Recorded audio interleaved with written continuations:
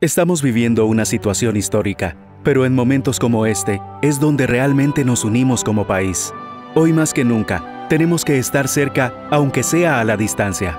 Hoy más que nunca, tenemos que estar unidos, porque solo así podemos salir adelante. Por eso, hoy nos comprometemos.